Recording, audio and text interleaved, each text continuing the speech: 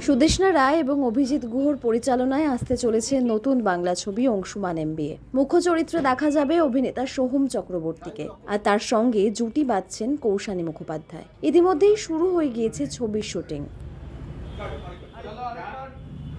Romcom এই ছবি নিয়ে আশায় বুক বেঁধেছেন পরিচালকদ্বয় এই ছবি যেমন এক পরিবারের গল্প বলবে, তেমনই বলবে এক সম্পর্কের গল্প।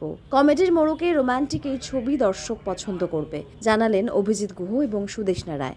রকম রেড টেপিজম তো আছে বাংলাদেশে ছবিটা দেখানোর ব্যাপারে, কিন্তু আজকে তো বাংলাদেশ বা কোনো দেশই আর ওরম ভাবে কোনো ব্যারিয়ার নেই।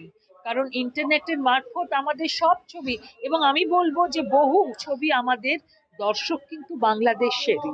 কারণ বাংলাদেশে বাংলা ছবির কদর আছে যেরকম সেটা সত্যি অন্য কোথাও নেই। একটি বড় ব্যবসায়ী পরিবারের ছেলে অংশুমান। এমবিএ পাশ করা অংশুমান নিজের কিছু করার লক্ষ্য নিয়ে শুরু করে সম্পর্ক ভাঙার ব্যবসা। ঘটনাক্রমে অংশুমানের সঙ্গে পরিচয় হয় লাবণ্যর। সম্পূর্ণ বিপরীত ধর্মী দুটি মানুষের একে অপরের সঙ্গে সম্পর্কে জড়িয়ে পড়ার গল্পই বলবে এই ছবি।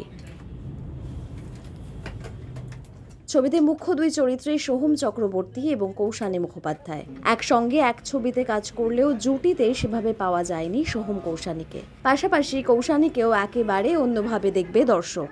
লাবণ্য হচ্ছে পরিশ্রম করাবে ছেলেটাকে।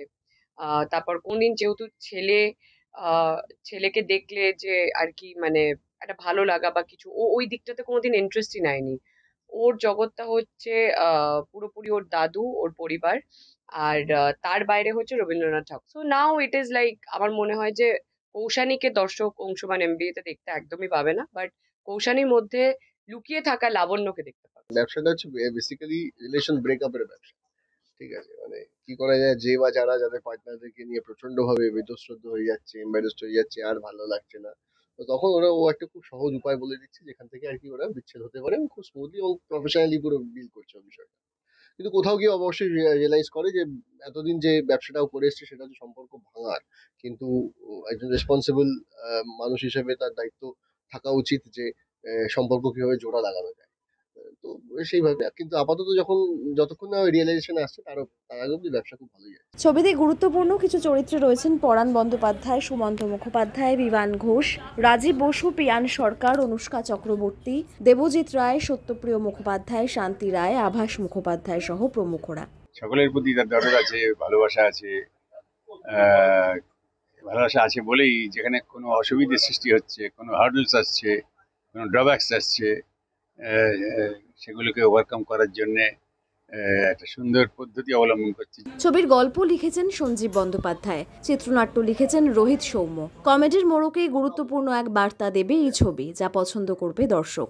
চলতি বছরই মুক্তি পাওয়ার কথা এই ছবির। পারমিতা আচার্য সময় সংবাদ কলকাতা। বুঝতে হ্যাঁ ওটা